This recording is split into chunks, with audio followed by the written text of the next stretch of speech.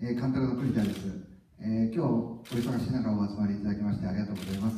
えー、またあ学校関係者の皆様このような素晴らしい場を提供いただきまして本当に感謝申し上げます。ありがとうございます、えー、すいません。座ってちょっと話をさせていただきます、えー、今あの部長の井上からあ今年度入るにあたりというような話がありましたので私の方からは今年度のえー、明治大学の、え、活動の状況と、あと内定選手3名の紹介をさせていただきたいと思います。えー、今、井上からも話があった通り、えー、昨年、え、7名のプロフットボーラーが誕生しまして、で、えー、シーズン入る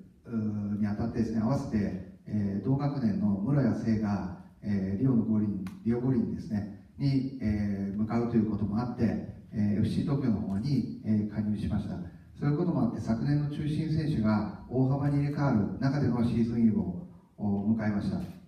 でそういう中で、えーまあ、選手たちももちろんなんですがチームとして、えー、やはり今年は強くないんだと。今年のチームはあ強くないと。いうところをまず自覚を持ってですねその上で何ができるんだと。いうところを追求しました。で、えー、やっぱり4年生がですね中心になりまして一心というスローガンを掲げ、えー、とにかく全体としてまとまっていこうと、まあ、学生スポーツですからその辺のやっぱまとまりというのを大事にしながらやっぱり全員守備、えー、全員攻撃と。お、まあ、部のスタイルとしてはハイプレスショートカウンターというのを掲げてとにかく動こうと。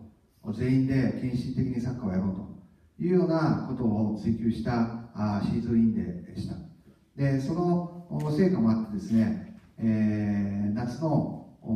総理大臣杯ではですね、え部としては創部今95年になりますが初めて、え全国大会の優勝というものを勝ち取ることができまして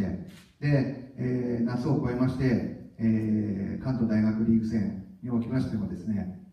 えー、成績が、え14勝3敗5分けと勝ち点47ということで、えー、優勝することができました、えー、現在はですね、えー、インカレに向かってチームをまあ、戦うべくですねトレーニングを重ねておりますけれども、えー、やっぱり今年この2冠を達成できた一つの要因としては、まあ、ここにいる3名をはじめ4年生が中心になってですねやっぱり部の中心になって引っ張ってきたことこれが一番の要因じゃないかなというふうに思ってます。で、えー、インカレこれから迎えますけれどももちろんあの優勝という大きな目標を掲げながらもですねやはり各大学さまざまな取り組みをして、えー、向かってきます。で決して簡単ではないので我々もですねやっぱり一戦一戦、えー、きちっと戦ってですねでその中で、えー、一戦一戦結果を積み重ねていくということに終始したいというふうに思っております。それではあの3名のちょっと紹介をさせていただきます、えー、まず真ん中におりますけれども小出裕太です、えー、バンホレ候補の方に内定いただきました、えー、ポジションはディフェンス主にセンターバックをやっております、えー、3バック等々明治でやることもあるんですがそういう時にはサイドのバックも経験しております、えー、彼はですね今現在部の中では副首相を務めまして、えー、リーダー的な存在として、えー、活躍してくれてます。えー、一年時よりですね、えー、レギュラー格として活躍しておりましたけれども、高校時代、あの一律船橋高校から明治の方に、え、進みまして、高校2年生の時も全国優勝を経験していると。で、部に入りまして、1年生と3年生の時には、えー、総理大臣杯決勝で、えー、準優勝という悔しい思いをしています。で、その、まあそういった経験がですね、今回の夏の3度目の決勝戦で、えー、力を発揮してくれて、リーグプロレス総理大臣杯の優勝に貢献してくれたのかなというふうに思ってます。まあ、特徴としましては、あやはり対人の強さ、えー、1対1の強さですね、ゴール前の厳しさ、えー、についてはあ抜群のものがあると思っております。えー、これから、まあ、プロに進むにあたって、えー、よりプレーの柔軟性とか、あと、えー、より自分よりですね、屈強な相手に対してどういうふうに対応していくのかというものを経験を積みながら成長していってほしいなというふうに思っております、えー、続きまして、えー、一番、えー、向かって右手になりますが、えー、道淵良平です、えー、バンホレ候補の方に内定をいただきました、えー、ポジションは、えー、主に、えー、明治ではサイドハーフをやっておりました、えー、ベガルタ仙台ユースから明治大学に来まして当時はあいわゆるボランチですね。守備的なミッドフィルダーとして、えー、入りました、えー、ただしあのただしと言いますか、えー、その後です、えーと、2年時からですねやっぱりあのフィジカルの強さとやっぱり1対1の強さあまたやっぱりスピードに乗ったドリブルですね、えー、その辺を磨きをかけたいなということでサイドハーフやりましてもともと守備も上手な選手だったので、えー、サイドハーフとして2年時から頭角を表しまして、えー、今4年の中では明治の中ではサイドアタッカーとして、えー、得点を奪ったり、えー、アシストに貢献したいということで、えー、中心的な選手として活躍してくれてます、えー、特徴は先ほど言いましたけれどもやっぱり強靭なフィジカルを生かした、えー、ドリブル突破です、えー、課題としましてはやっぱり、えー、まだまだ判断能力ですね。判断力のところがこれからの課題かなと思っているのでそのあたりがプロのスピードだとか、えー、より洗練された戦術の中でですねどのように磨かれていくかということで、えー、期待をしております、えー、ただ個人スキルの部分いわゆるボールをオンザボールでボールを持った時のやっぱり強さ失わない強さというのはあ特徴があると思っているので、えー、そこを伸ばしてくれれば必ずやチームに貢献してもらえるんじゃないかなと思っております、